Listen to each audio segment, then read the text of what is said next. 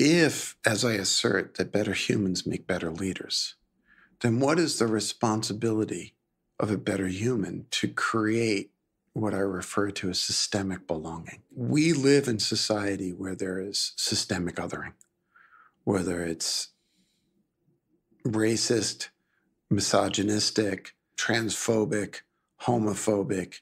We are constantly turning the other into someone who is less than. And to my mind, the only answer to systemic problems are systemic solutions. I'm Ron Dror, and this is Remake, a podcast about design, systems, and society.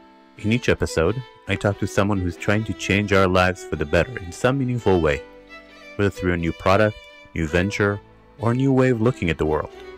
And I try to understand how they came to it, what makes them tick, and what we can learn from them. Jerry Colonna is the CEO and co founder of Reboot.io, an executive coaching and leadership development firm whose coaches and facilitators are committed to the notion that better humans make better leaders. For nearly 20 years, he has used the knowledge gained as an investor, an executive, and a board member for more than 100 organizations to help entrepreneurs and others to lead with humanity, resilience, and equanimity. He's been called the CEO whisperer and the coach with the spider tattoo, and has taken refuge in the Buddhist Dharma tradition. Previous to his career as a coach, he was a partner with JP Morgan Partners, the private equity arm of JP Morgan Chase, and before that, had launched Flatiron Partners with partner Fred Wilson. Flatiron became one of the most successful early stage investment programs in the New York City area. Today, he lives in Boulder, Colorado. We had this conversation in mid March 2022, and that's two years into the worldwide outbreak of COVID and a couple weeks into Russia's invasion of Ukraine. I was excited and nervous to talk to Jerry, who is famous for making podcasters cry. We've also had a brief chat months before preparing for this interview, and I've already had a taste of his radical inquiry approach to coaching.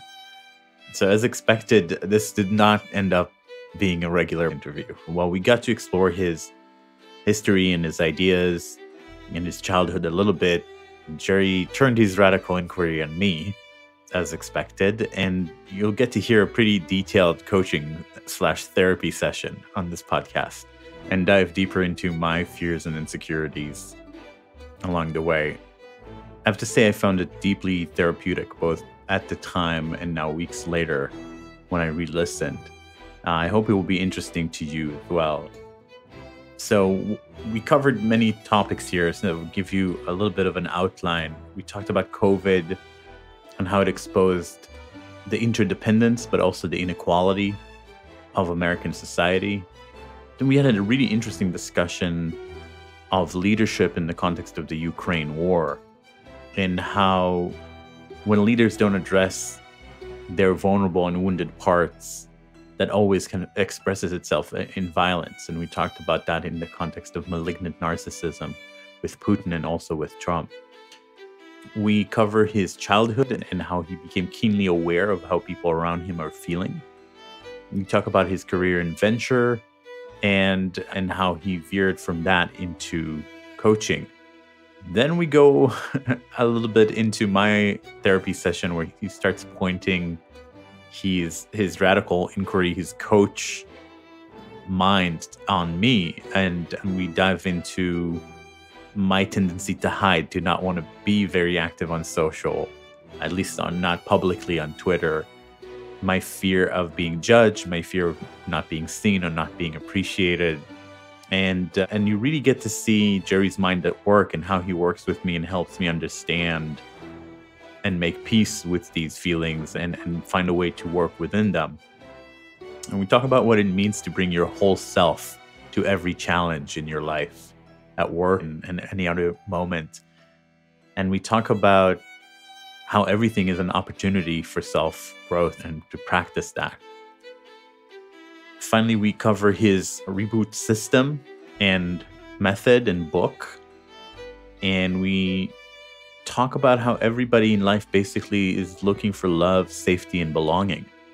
And this was a very different, a very meaningful process for me, and I hope that you'll find it beneficial as well. It definitely affected the way that I approach putting myself out there and allowing myself to be more visible on social media.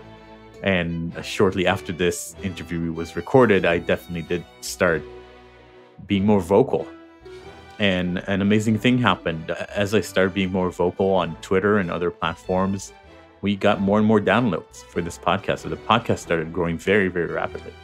And so I guess I owe uh, a big thank you to Jerry for challenging my assumptions and, helping me pinpoint his insecurities. Jerry assured me that this is helpful to other people to hear. Uh, so I really hope that would prove true and that you'll find this episode really helpful to you in your journey as well. This conversation with Jerry is one of a dozen or so weekly conversations we already have lined up for you with thinkers, designers, makers, authors, philosophers, entrepreneurs, and investors who are working to change our world for the better. So follow this podcast on your favorite podcast app or head over to remakepod.org to subscribe. And now let's jump right in with Jerry Colonna.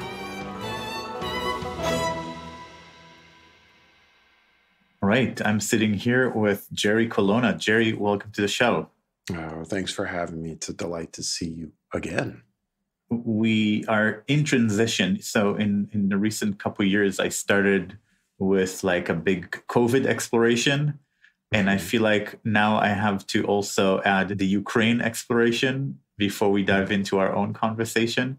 So yeah. I'll start with COVID. I would love to hear how it affected you personally, how it affected you professionally, and then what surprised you. Well, you know, we're recording effectively two years, around two years since the wave really hit the United States. So, the last week or so, I've been particularly mindful of what life was like two years ago. Like a lot of folks, I think it was a series of different experiences. There was the belief that it was going to be a relatively short time what felt like potentially a long time, like a month, that mm. we would be struggling with this. And so there was a tremendous amount of anxiety wrapped around uncertainty. Then it evolved for me into a kind of interesting experience because in the United States, in particular, uh, shortly a few months afterwards, we had the murder of George Floyd, mm. which brought into undeniable, shocking experience of the reality of so many folks uh, already. I, I am a white, straight man, and I do, do not experience the sense of othering that many others do. And all of a sudden, it became, in my mind, inextricably linked. That there was this kind of interesting dynamic going on of a profound demonstration of our interdependence, because that's kind of what a virus does, right? Mm-hmm. I could make you sick 5,000 miles away just by passing it from one person to another. And so, therefore, you need me to take care of myself, and I need you to take care of yourself, right? That's a great demonstration of interdependence. But it also mm. became a stark reminder of the injustice and inequality in our societies, especially the healthcare inequities. During that period, my partner Ali and I bought a farm outside of Boulder. We hmm. moved hmm. to a 40 acre farm with three horses and a 19 year old cat named Ginger. And the, like, again, the dissonant experience, I got healthier, I got calmer, I began eating better you know, the loss of travel in my life was a net positive. Mm-hmm. And then, you know, lastly, in terms of work, the demand for what I and my colleagues do clearly went through the roof mm. um, because there's just so much suffering out there. This week, we had our first in person all team meeting for the company in two and a half years. And several team members had never met each other before mm. in person. And I know that's not a unique experience. What surprised you about this? Did you feel like you learned anything about people, humanity?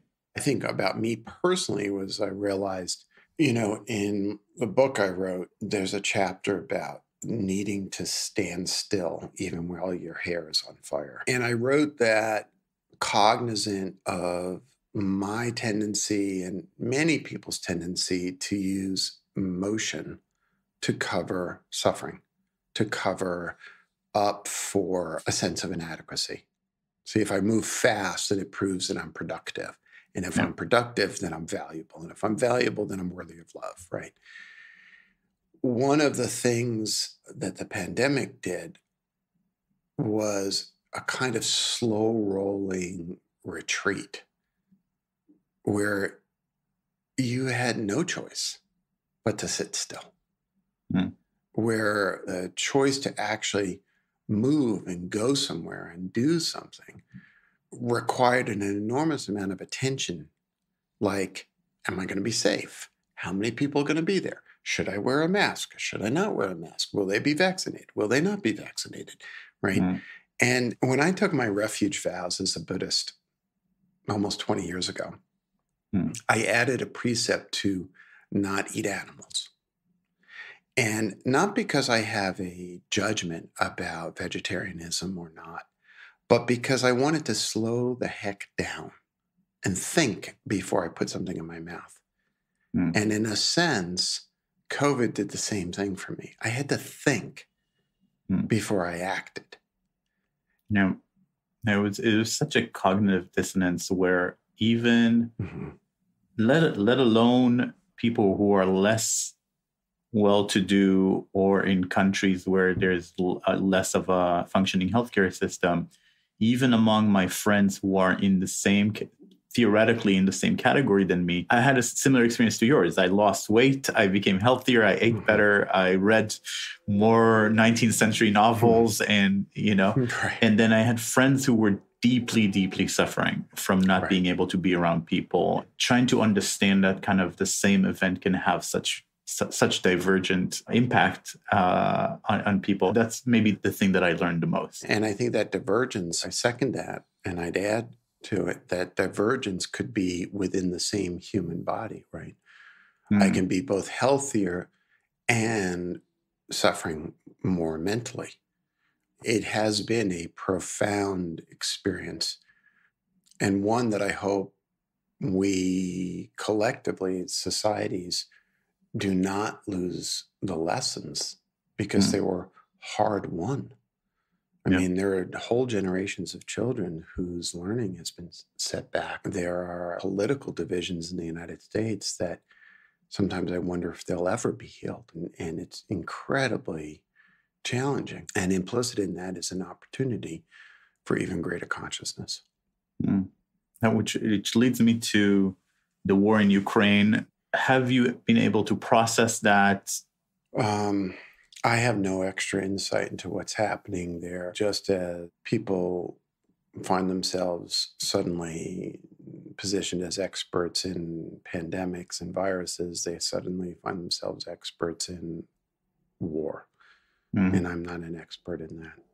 So I'll put that to the side. But I will say that, you know, one of the things that I've been saying for many years, and one of the ways in which I dedicate my life in support of leadership, is that when those who hold power refuse to grapple with the parts of themselves uh, that really are rooted in woundedness, mm then violence is the consequence.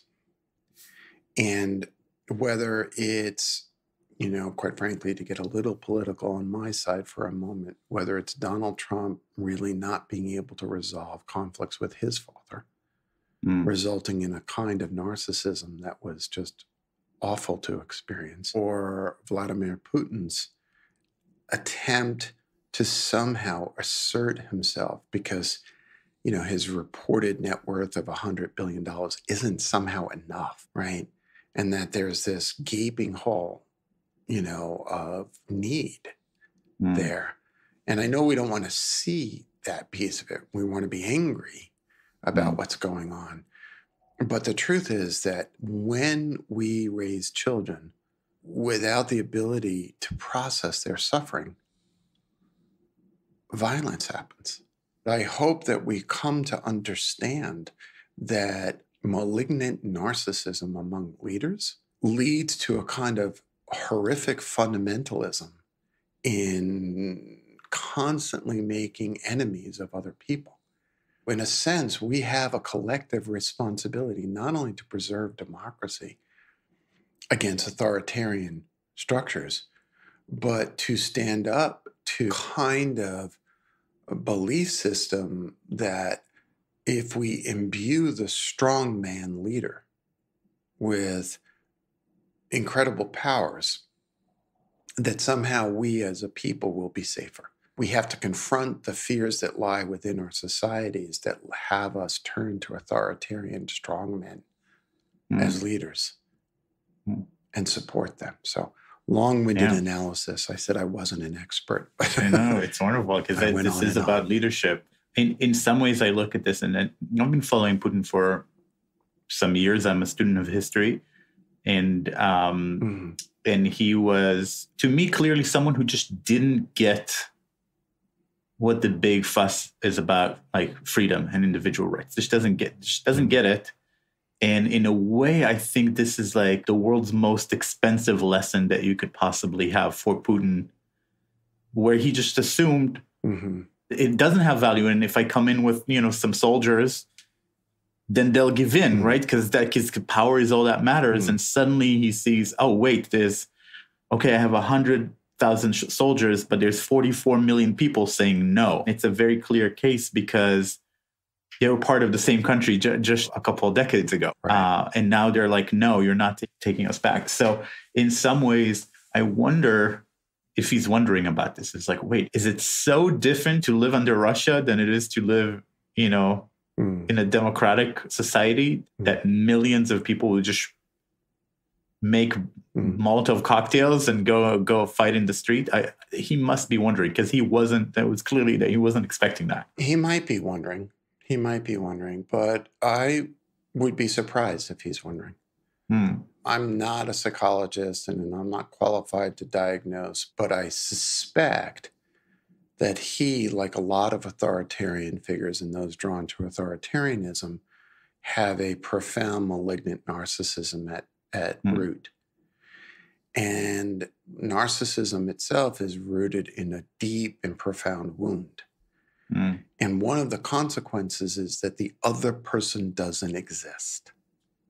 Right? You can always tell you're engaged with a narcissist when you walk away feeling annihilated, feeling wiped out. And one of the root causes of this kind of violence is to turn the other person into a non human Hmm. to not see their humanity. And I suspect, although I don't know, that a young 19 year old Russian soldier hops out of a, tra- a tank with a rifle drawn and looks out and sees a woman who looks like his grandmother. And that kid is not a narcissist.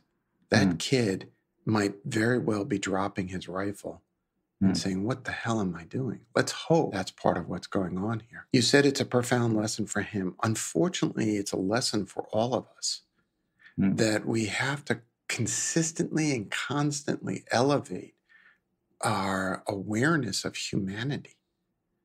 That person across from me, in my anger, can cease to be a human being. And once Mm. that happens, all bets are off. We have seen this time and time and time again. And Mm. unfortunately, we continue to have to learn this lesson that in a blink of an eye, we can turn someone that we think of as a sibling, Ukrainians to Russians, into non humans. Hmm. And then we can pull a trigger. And hmm. that's the movement that we have to be careful about because that's not isolated to Vladimir Putin by any stretch of the imagination. That propensity right. exists within all people. And that's what we have to push up against. That's what the wisdom traditions in every society have taught us. You, you mm. want to understand every single religion, it boils down to one simple thing see the other as a sibling, not as the enemy. Mm. Yeah. And whenever we see the other as the enemy, we are going against all of the wisdom traditions that are the best of humanity. Thank you for that. Um, so we have kind of a way into I won't say the meat of our conversation, but the the middle part of the sandwich of the conversation. Um, mm. I have this this question that I usually ask, which is, what's something you learned in childhood or early in life that is still guiding you today? It's still very alive in you today. I'll reframe the question just slightly because I don't see it so much as a lesson hmm. as much as a skill that I developed. And that is this notion of hypervigilance. For those who are familiar with my work, they'll know that I grew up with enormous violence in the household. I grew up with mental illness. I grew up with my father's alcoholism. And one of the responses, one of the adaptations I developed was to be keenly aware of how people are feeling, constantly and keenly. And that permeates everything I do, everything I am as an adult. Even now, you know, I'm holding the back of my mind stories you've shared with me of, you know, a friend who was suffering. Hmm. When we're talking about universal suffering. So I've got one eye on the universal theoretical, let's talk about the impact of the pandemic, and another eye on your heart. Yeah. And that's the positive aspect of that adaptation that I developed as a child.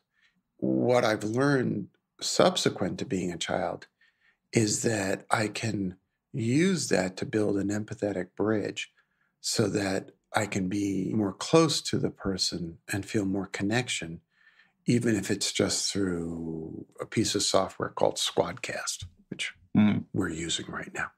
And those are skills that have served you throughout life and probably are very much alive today in coaching and working with people and helping. More alive today in me than they have ever been, both as a leader in my own company and mm. as a coach and as a life partner and as a parent and hopefully as a friend. That means that there's some hope for people who are left with a similar legacy from their oh, childhood. My, there's always hope. Yeah. There's always hope. Yeah. Remember this line from Carl Jung I am not what has happened to me. Mm. I am what I choose to become. Mm. It's such a profoundly important statement of agency. And for those who might resonate with stories of childhood challenges, take a deep breath. The adult in you is capable. Your child survived. You are now an adult, and you're fully capable of turning all that has happened to you into superpowers so that you mm. can become the adult that you want to be. That is possible. It's mm. hard, but it's possible. Yeah. Yeah, I'm sure this will be resonating with a lot of people. It certainly resonates with me. Um, mm. So, before kind of diving into your doing and the current doing, um, I, I want to understand that transition because I think with those sensitivities and those skills, you actually went into the venture world for a while mm-hmm. before landing where you are. So, how did you find yourself, you know, working at Flatiron Partners with Fred Wilson? I think this is a you know well known story. Mm-hmm. What were the first steps that led you to that world, and then what led you out of it? My first job as a, as an adult was working as a technology reporter for a magazine. And I'd gotten that mm. job as an internship, and I sort of parlayed that into a full time position and ended up staying with that company for nearly 10 years. And it was at that time that I began to be exposed to the venture capital business really by happenstance. And so I actually joined a venture firm before starting Flatiron with Fred. And I was there for about 18, 24 months. It was a miserable experience. I liked one or two partners, but I really didn't like working with the folks that I was working with. There was a deep and profound values conflict, Hmm. which I internalized as there's something wrong with me. I don't understand the venture business, that sort of thing. So that was sort of the pathway through. But I think if you wanted to look at a through line, and this was true both in my time as a reporter and then my time as an investor, and even my time today, I am driven by an insatiable curiosity. I mean, I'm the kind of dad that when my kids and I would be visiting something, I stop and read every damn plaque. You know, if I see something interesting at this point, I open up my phone and I go on Wikipedia and I try to find out the. I just am endlessly curious. I'm going to reference the books on your over your shoulder. I noticed that you've got a copy of William Blake's poetry. I noticed that you've got The Lord of the Rings on your other side, right? So there's a piece of my brain that's like sitting there saying, Mm. okay, we got to have a conversation about that. We got to have a conversation about Blake. We got to have a my friend Seth Godin's book is over your shoulder, right? And it animates me. Even to this day, I probably read, you know, a book a week, maybe two. And one of the hardest things about reading books on Kindle is that I immediately go and if I find some fact that I think is interesting in the book, I'll look it up on Wikipedia. So it takes Yeah. twice as long to read the book Yeah, yeah, for as it would normally. So that's really what motivated me. And then when I became an investor, it was like a kid in a candy shop. Hmm. You know, interesting people all day long would give me an opportunity to talk about their best ideas. Right. And we'd just riff. The problem was that by my late 30s, that activity, which was really enlivening, was overshadowed by the negative aspect of feeling like I needed to resolve some deeper issues within me Hmm. that was leading me to be outwardly successful but inwardly miserable. Hmm. And that dissonance became unbearable to the point where I was depressed and suicidal and needed to make a profound structural change in my life. Hmm. And so, you know, I referenced this before. At 38 years old, I had to just sit the hell down and stop moving and figure out my life. In hindsight, now I see that it was part and parcel of a larger movement, which we blithely referred to as midlife crisis, but it was really more profound than that. It was the existential house of cards that I had built to survive my childhood and get into adult Hmm. had collapsed. Thank God, because it was inappropriate. Um, and uh, my heart broke open. Yeah. Can I share a bit of wisdom? Uh, yeah, absolutely. Yeah. So Parker Palmer is one of my teachers, and he likes to reference a story that Jacob Needleman, the philosopher, shares. If I don't get this right, forgive me, but it's a Hasidic tale. And the tale goes like this A student comes to the rabbi and says to the rabbi, Rabbi, why does the Talmud tell us to place the words of the Torah upon our hearts? Why does it not say place them in our hearts? And the rabbi says, Our hearts being the way they are, as hard as it is, the words must be placed upon our hearts until our heart breaks open and the words can fall in. Hmm. That story just kills me every time. Because implicit in it is that the wisdom, the divine wisdom, can only come into us when our hearts break. Hmm. Or specifically, our hearts break open. Yeah. And that openness is the key. I think that's what happened to me. It's beautiful. It resonates with me with, with, with what the Buddha said. I think there's a there's a place where he says no one comes to the Dharma except f- through suffering, and it's definitely true. I, ne- I never I don't know if it says more about me or about this, but I never fully trust someone who doesn't seem to have suffered in life. Like mm. it's like I don't like I don't even know how to relate to that. I understand the feeling. I understand the feeling. If, if, if I may, let me talk a little bit like your older brother. Sure. Be careful of romanticizing suffering. Hmm. There is nothing romantic about suffering. And I mm-hmm. think that the wisdom in both of our stories, in both of our quotes, is less of a prescription than a description. It's not that the Buddha is saying, in order to become wise, you must suffer. I think what the Buddha is saying is suffering is a part of life. And as we as he taught in the second noble truth, the denial of suffering increases suffering. Yeah.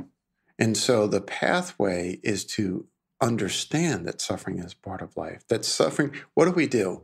I feel miserable, so we tell ourselves, or I tell myself, there must be something wrong with me. And so we exacerbate suffering.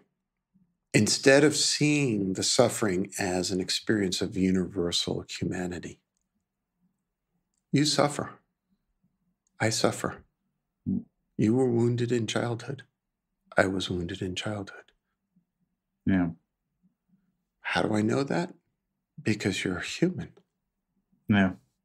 What you suffered may be different from what I suffered, but that doesn't mean you didn't suffer. I don't know. Does that framing help?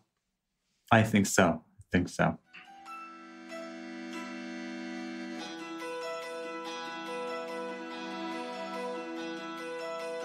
You're listening to Remake, a podcast about design, systems, and society.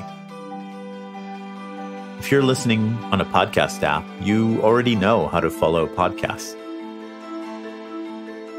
So please follow this one.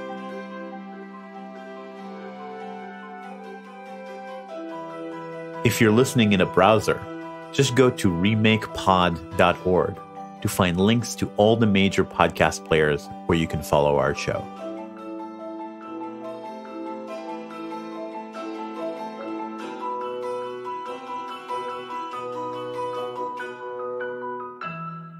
So I resonate very much with a lot of the specifics that you shared. So I think that hypervigilance or hypersensitivity to people's moods is mm-hmm. definitely something that I share. I think that for much of my life, and actually, this may be one of the things that is still very active today.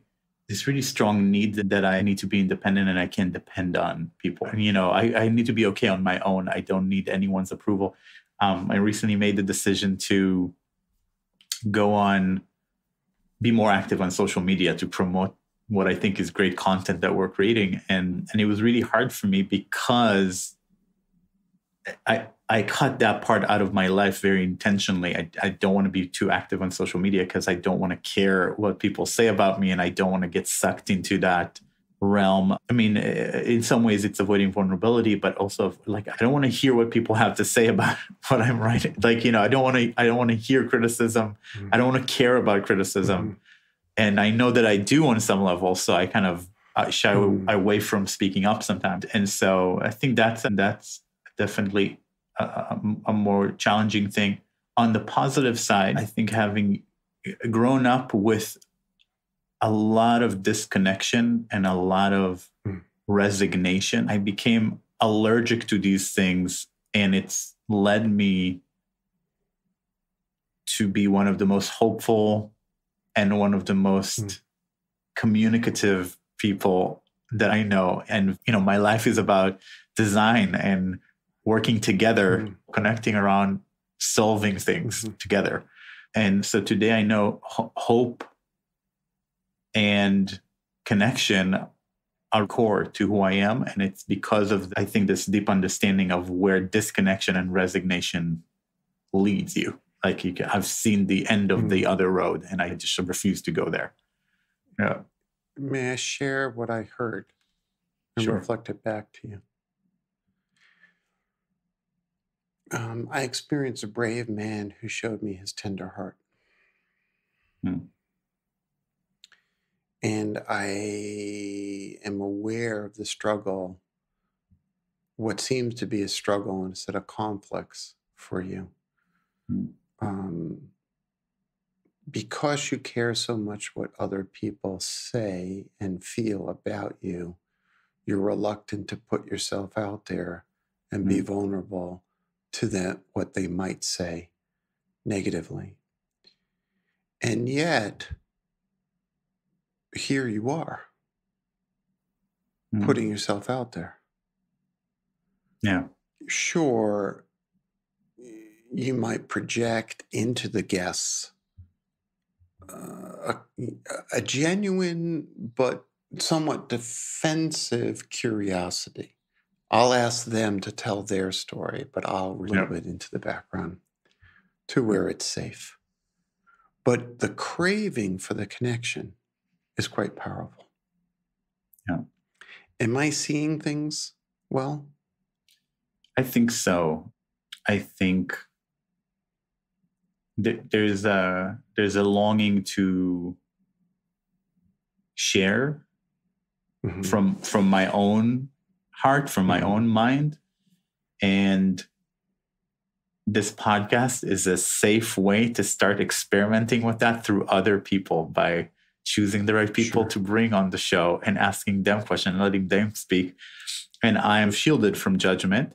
At the same time, I am thinking about how to break that barrier and also put myself more out there. And it's a process. So, so I think you're very much correct. So be careful right now. There could be a little bit of self criticism that comes in. Hmm. Sure, I ask these people to be real and authentic, but I'm hiding Mm. behind the question. Hmm. Easy, Hmm. easy. Your heart is tender. Mm. Okay? You have experienced suffering.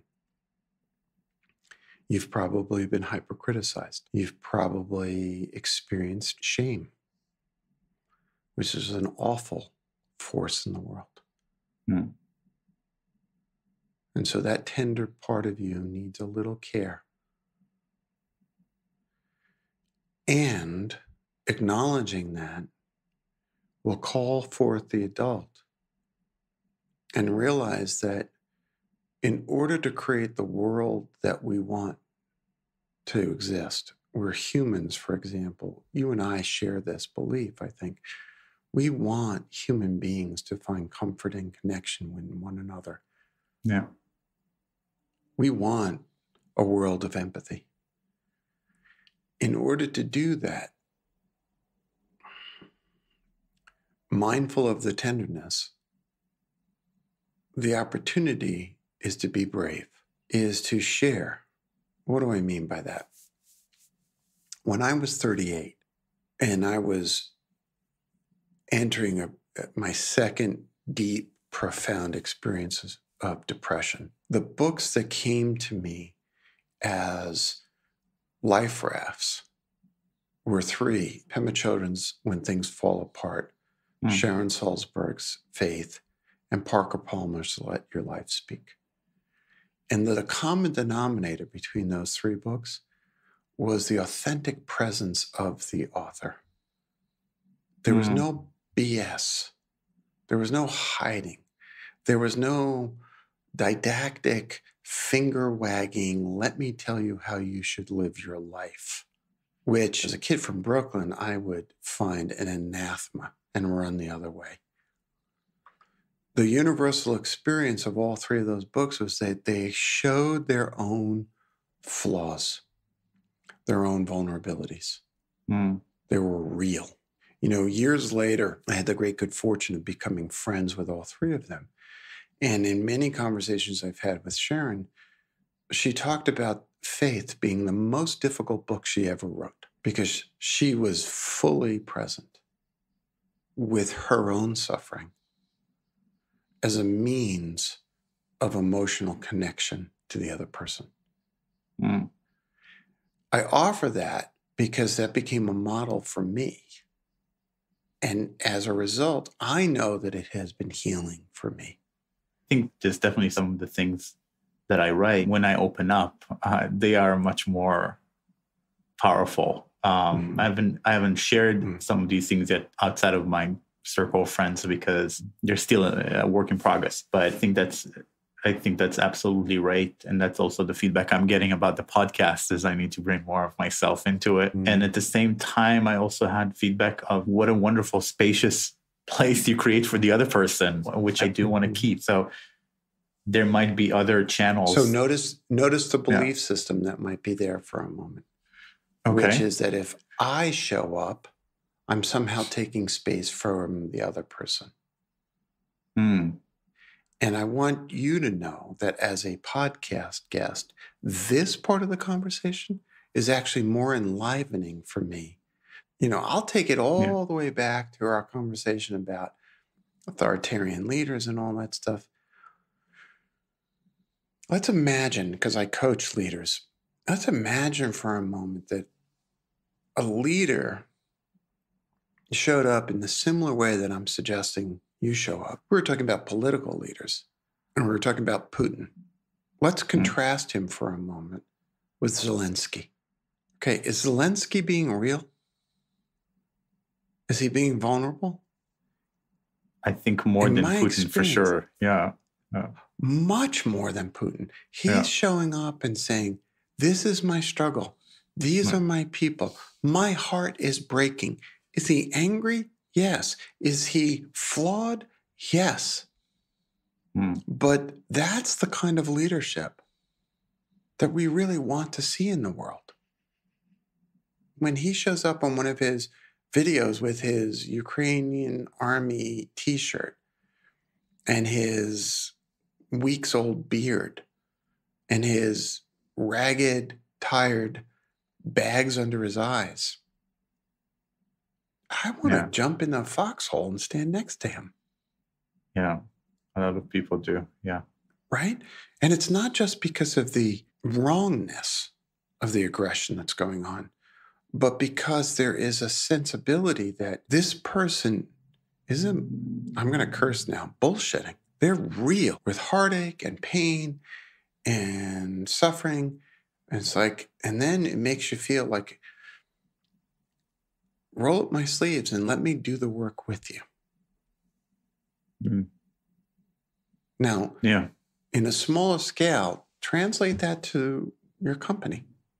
Yeah. I, I, I think that I have no problem sharing with anyone my anxieties around like, oh, I don't, I've never done sales before. I'm reading a book about it. I'm trying to figure mm-hmm. it out. I no, it's not something that's hard for me to share and be real about. But I think maybe the most sensitive thing for me is like, this is how I see the world, or this is you know, mm-hmm. this is something I really believe in, and or, and maybe it's not something that everybody believes in, or maybe it's influenced by my perspective or, or something mm-hmm. creative that I wrote.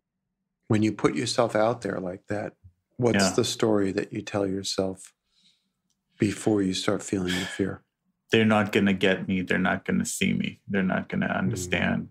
They're not Yeah. going to understand you. They're not going to see you. Just hang out in that spot for a moment.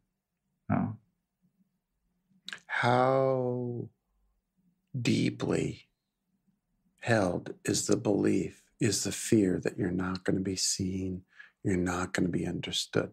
I think it's very deep in time, but I think I've also Mm. done some processing. So I, I think I'm on of two minds for everything I do. I, part of me thinks they will get it, and so part of me thinks they won't get it, and and I have to be brave in the moment. But it, it's not like it's so powerful that it's overwhelming. So that's very fortunate for me at this point in my life. It wasn't always like this, but Right. So let's talk about the time when it wasn't Yeah.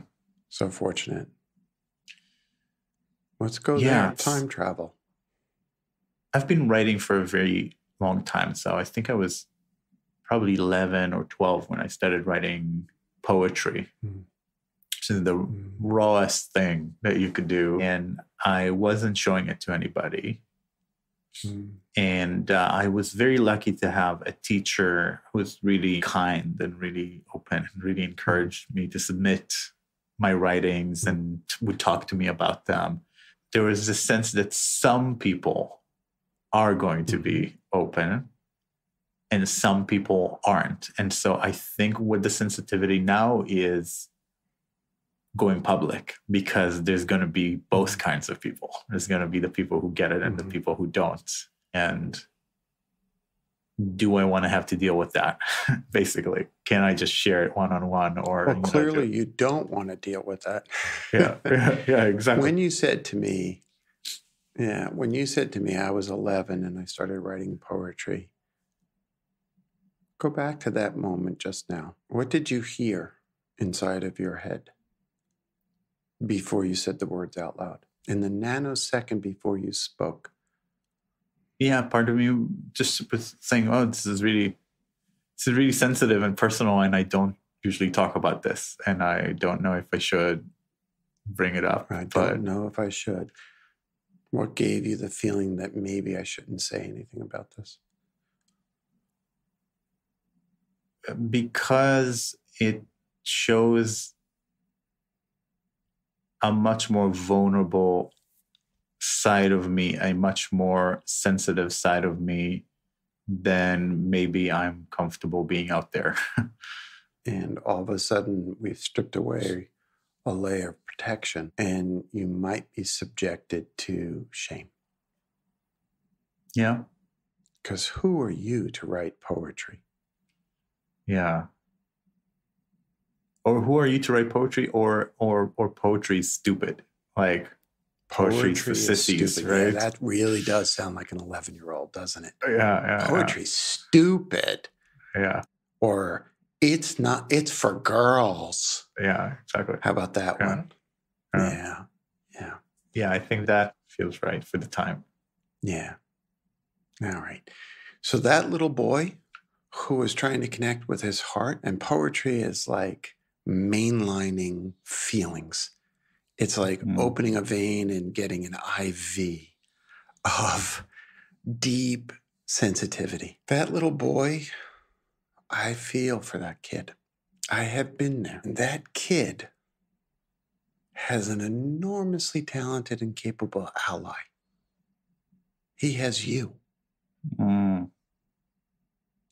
who is wise and brave and capable and thoughtful and has all sorts of agency. And when the bullies on the playground laugh at him, he's going to walk over to that playground and he's going to put an arm around that 11 year old boy and he's going to say, You're going to be okay, kid.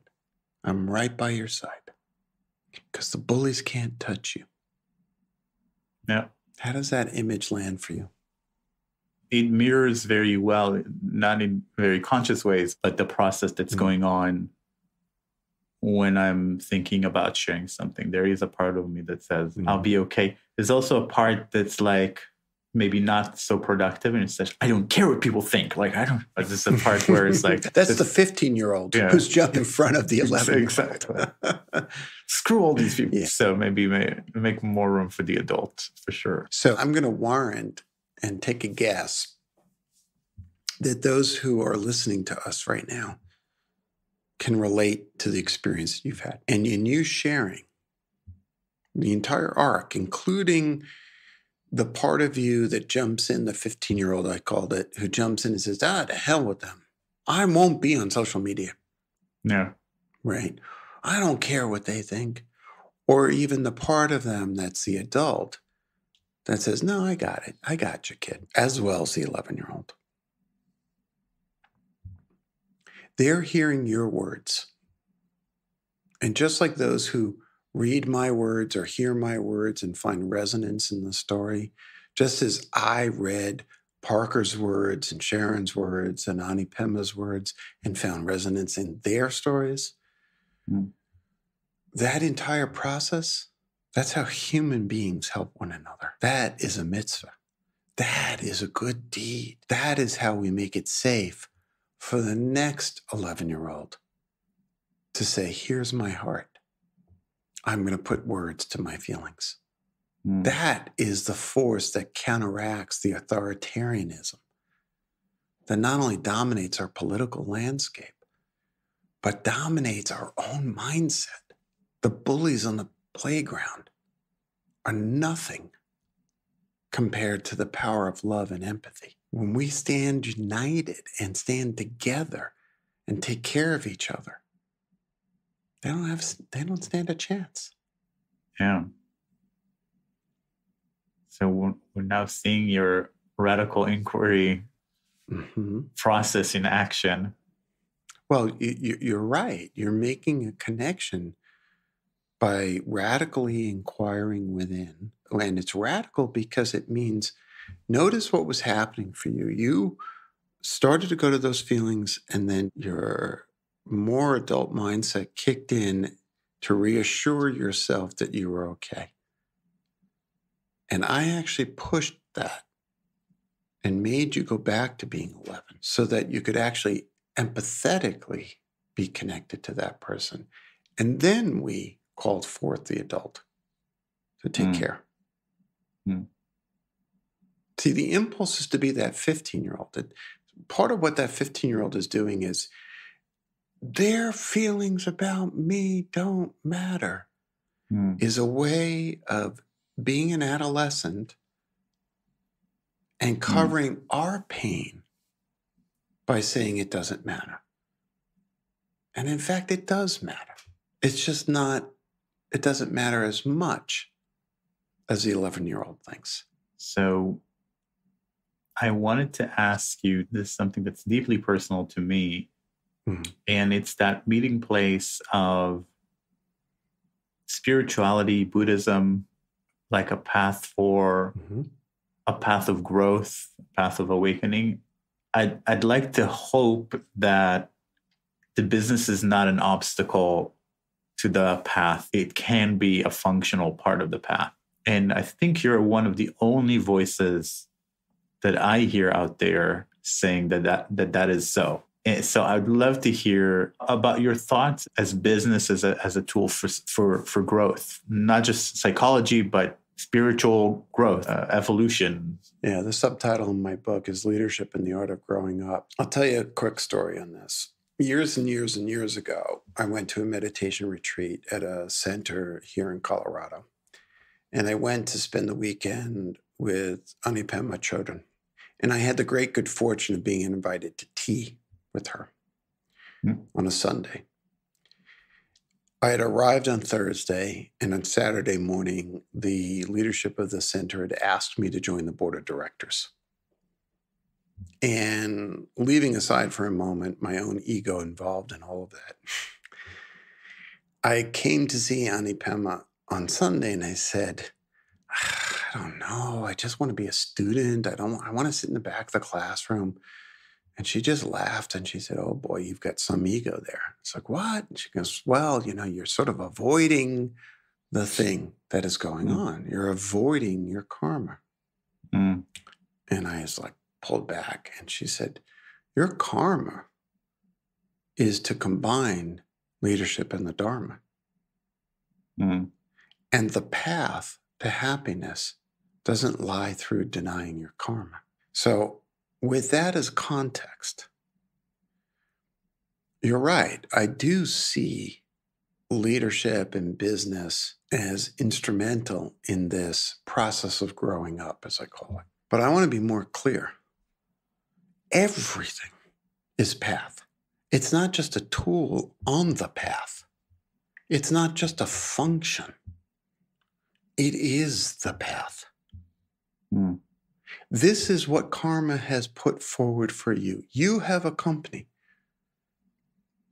You mm. have a merry band of pranksters who want to create magic in the world, and they want to use their work to express their essence. And your task is to create the conditions where great people get to do the best work of their lives.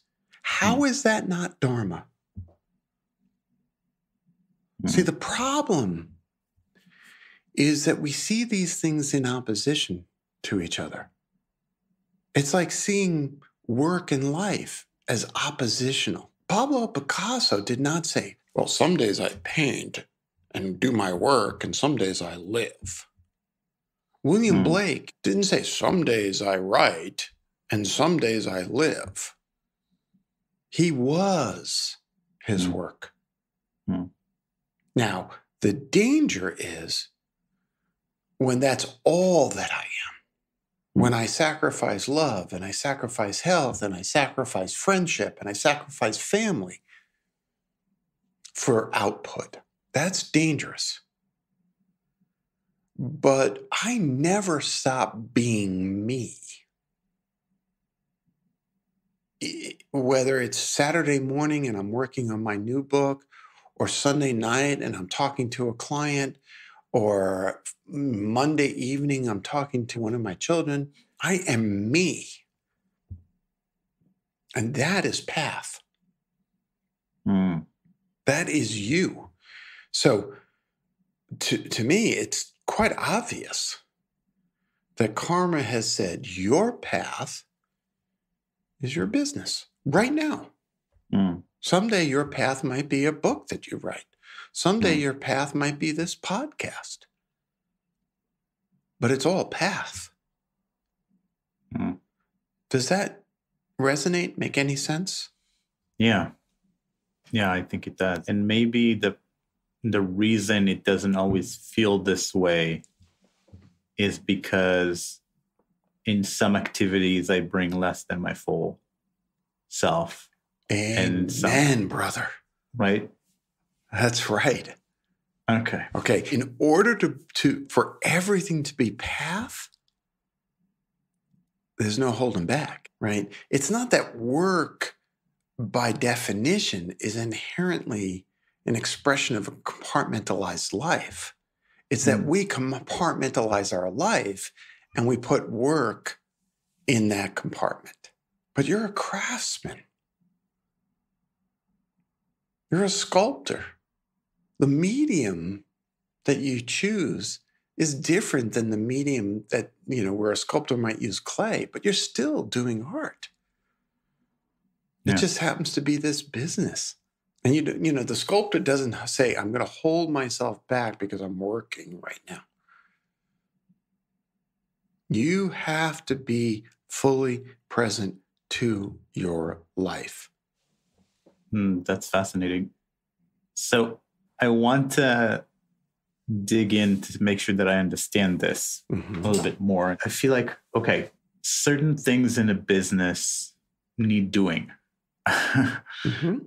and they need doing for practical reasons like you need to do the sales you need to reach out to clients you need to do you know marketing you need to do and some of these things you know if i bring my whole self then i don't like the, my whole self doesn't really feel like doing some of these things or my whole self might prefer to be doing something else right now uh, something more creative. So, what is the process of being my whole self in those moments? There's an old Buddhist teaching that goes like this Before enlightenment, chop wood, carry water. After Mm. enlightenment, chop wood, carry water. Hmm. What's that mean? I think that the enlightenment, what it changes is not necessarily the subject matter, it's the perspective on it or it's the relationship to it. It's that you're still doing the same activities. You may hate making sales calls because making sales calls puts you in that place of potential shame by being judged. Hmm.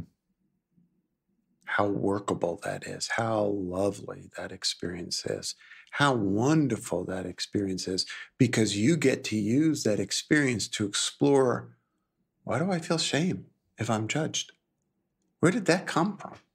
Hmm. Oh, right. I'm 11 years old again, wanting to write poetry, Hmm. afraid that the bigger boys are going to somehow find out. Hmm. Let me blow a kiss and let go of that. And let me approach the sales process as an opportunity to create an empathetic bond. Because who am I selling to but another human being? Who, by the way, suffered and was wounded as a child. Yeah. Everything that you say, I don't want to do, is an opportunity to practice. Hmm. Everything that you say, I want to do, is an opportunity to practice. Right. That's the whole self. Hmm. Yeah. That's good. I, I, I like this answer. It feels very practical. So I'd love to hear from you about your reboot approach. And then Mhm. also, I know you started thinking and engaging with the concept of belonging. How does that tie into this approach? Well, I, th- I think what I hear you asking is, sort of my company, our Mm. coaching style, and how we approach things. Hmm. And I'll just point out you experienced it. Yeah. All right, let's imagine for a moment that you're a coaching client and you're a CEO of a small design firm, and you call me up and you say, This part's a job I just don't want to do. It's such a pain in the ass. And I would have told you exactly what I told you just now. Okay. And so, implicit in what we do is a kind of deeper questioning than the reflection process of looking back and trying to see things from a different perspective. Some of the aspects of that are common to reboot. Much of that is good coaching, quite Mm. frankly. So that's part of what we do. On the question of belonging, you know, one of the core principles of my first book was that we are all organized for the pursuit of love, safety, and belonging. Hmm. And that we use as leaders in order to turn the challenge of leadership into a path to growing up, as we just described. We use radical self inquiry and understand that just like ourselves, everyone around us is organized for the pursuit of love, safety, and belonging. And so when I ask the question, as I do often, how have I been complicit in creating the conditions I say I don't want in my life? One of the corollaries to that is how have I been complicit, not responsible, for creating the conditions in which I don't feel loved, I don't feel safe, and I don't feel like I belong? Or Hmm. if I have power, how have I created those conditions for other people?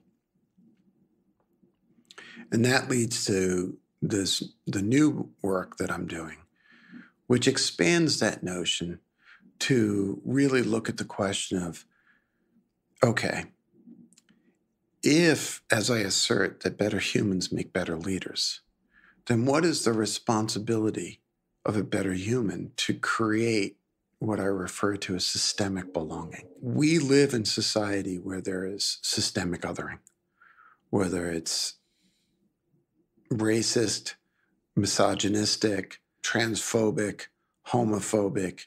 We are constantly turning the other into someone who is less than. And to my mind, the only answer to systemic problems are systemic solutions. And so the question then becomes the question of how have I been complicit starts to morph into how have I been complicit in and benefited from systemic othering? And what do I need to give up that I love in order to create systemic belonging? And that is a really challenging question, especially for those of us who hold implicit or explicit power, as many uh, racially white men do. And I think that's a moral obligation to ask that question. So that's where I'm exploring in the new book. Hmm. From my lips to God's ears, the manuscript will be done this summer. I'm about All right. halfway through. And uh, hopefully it'll be out next year, which is what the plan is. So, Fingers crossed. That's wonderful. So I have one final closing question. In his TED talk, philosopher Alain de Botton talks about the difference between a lecture and a sermon. A lecture being kind of a dry, secular, informational way of conveying information, and then you make up your own mind about what to do with it. Whereas a sermon is this, this really urgent plea to try to change someone's life. And Mm. so, if you were to give a short sermon today, what would be the one thing that can make the biggest impact in people's lives? Well, I hope he his TED talk was a sermon and not a lecture. Um, I think that the most important thing to hold on to for anyone in all the things that we've talked about today is the sense that we're not alone. I think the tragedy of the human experience is that when we step into the things that we suffer with, we exacerbate that problem by assuming that we're the only one who goes through that. And when we expand our horizon beyond our own experience and start to connect with other people's suffering, a magical thing happens. Our suffering is alleviated. See, when I help you, I am helping me. When I help me, I am helping you. And that, I think, is the most glorious aspect of humanity. We're in this together. Thank you so much. No, thank you for asking the question and thank you for having me on the show. All right, that's it for today. If you enjoyed the podcast and would like to support it, please consider writing a five star review in Apple's podcast app or wherever you're listening. It helps many more people discover the podcast and also makes us feel good. Current support for the podcast comes from my own design company, Remake Labs. Uh, we run design sprints all over the world, um, and our goal is to improve outcomes, whether in business or uh, various organizations, through repeated and rapid design interventions. Now, until next time, be well, everyone. See you next week on Remake.